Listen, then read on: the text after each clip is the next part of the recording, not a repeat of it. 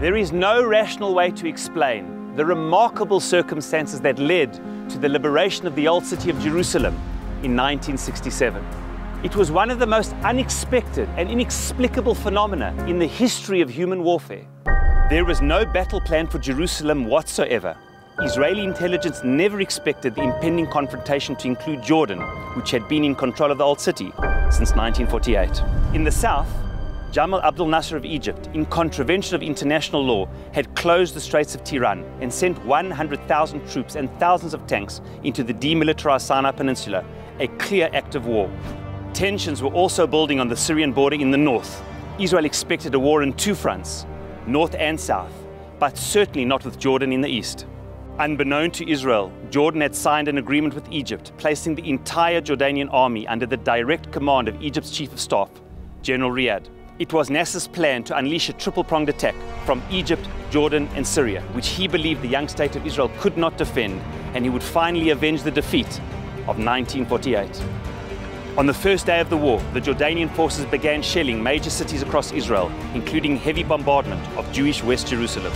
Israel repeatedly implored the Jordanians to cease fire and promised they would not react. Once all diplomatic attempts failed, Israel had no choice but to defend herself and enter the unplanned fray in Jerusalem. Rabbi Yoel bin Nun, a member of the Paratrooper Reserve Brigade 55 under the command of Motta Gur, recalls the surprising change in plan. On the first day of the war, he and his fellow soldiers were en route to El Arish in Sinai when they received an urgent command to redirect to Jerusalem. The IDF now had only a few hours to familiarize themselves with the routes and topography in and around the capital. With only partial intelligence, a dire lack of East Jerusalem maps, and in complete darkness, the troops charged into battle at 2 a.m. early Tuesday morning in the second day of the war. It was then the paratroopers engaged in the fierce battles of Ammunition Hill, the American colony, and Wadi Joz, and suffered the worst day of losses in their unit's entire history, losing 100 soldiers in these battles. In comparison, the very same brigade fought for two weeks in the Yom Kippur War and lost 52 soldiers, half of those lost on this one blood-drenched day. However, despite the heavy price, Brigade 55, together with the Harel and Jerusalem brigades, had almost surrounded the old city. That very night, Motta Gur had a breathtaking conversation with Rabbi Shlomo Goren, the chief rabbi of the IDF. While in the Rockefeller Museum at the northeastern tip of the old city, awaiting orders, the rabbi said to him, Motta, Jewish history obligates you to liberate the old city Motta replied that while he draws great inspiration from Jewish history, he takes his orders only from his superiors. Motta, said Rav Goren, Jewish history will not forgive a Jewish commander who had the opportunity to reclaim Jerusalem and did not do so. Moshe Dayan, the defense minister in the unity government, had ordered them not to capture the old city for two reasons. Firstly, the intention of this defensive war was never to conquer the old city and its holy sites, sacred to many religions. Secondly, he was aware of the large Jordanian military presence in the Old City, especially on the Temple Mount, with huge amounts of artillery and ammunition. Having seen the devastating losses on that one day, Dayan anticipated much greater losses in hand-to-hand street combat, especially in defense of the holy places. This would be a battle that Israel would not fight, or so he thought. What he did not realize was, in Rav Soloveitchik's famous words, that divine destiny was knocking at the door the drama of Jewish destiny was about to unfold. That very same night, two utterly unexpected and unpredictable events occurred. The first, in a remarkable display of unity, left-wing Yigal Allon and Menachem Begin from the right came together as one to Prime Minister Levi Eshkol to intercede on behalf of Jerusalem.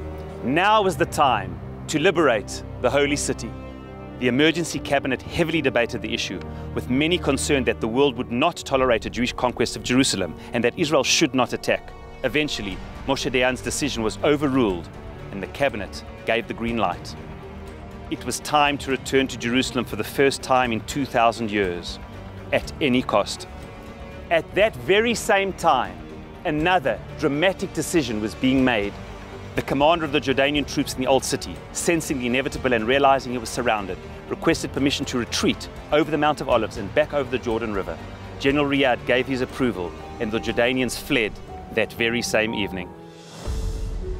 Our sages describe how Jerusalem is the only city in the world that exists on two planes, in heaven and on earth. Jerusalem on high and Jerusalem down below. Nothing happens in Jerusalem on high unless it happens concurrently in Jerusalem below. Perhaps at the very moment of both debates between the rabbi and the commander and within the cabinet in the city below, a similar debate was taking place in the heavenly cabinet. Were the Jewish people worthy of returning to Yerushalayim Ir Hakodesh? Was this the moment they'd been waiting for for 2,000 years? Would they have to wait 2,000 more? Would there be more devastating loss of life in a battle on the mountain of God? Or would there be a more merciful outcome? As we know, divine mercy won the day. Am Yisrael would not have to wait any longer, and little blood would be spilt on that epic day in Jerusalem in June 1967. The hand of heaven was moving history forward. When Motta Gur positioned himself on the Mount of Olives the next morning, preparing for the battle of his life, he was astounded there was barely a Jordanian soldier in sight. After a few minor skirmishes and mercifully with very little loss of life, Motta Gur proclaimed the iconic words, Har Habayit Bayadainu, the Temple Mount is in our hands. Israel had accomplished what seemed impossible with all the political predictions and military assessments from just a few days before. The Jewish people had returned home.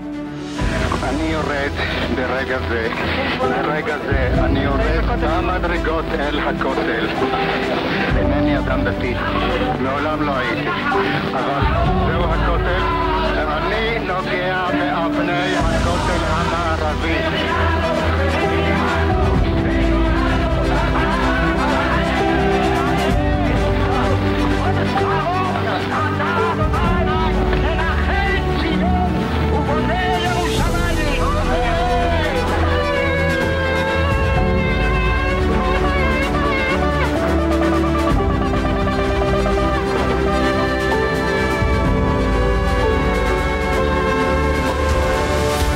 Extraordinary turn of events is another powerful reminder of the meaning of Jewish life.